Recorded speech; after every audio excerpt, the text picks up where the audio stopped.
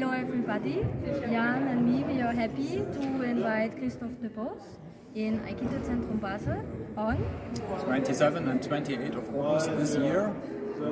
And I'm looking forward to seeing you there, so please join us.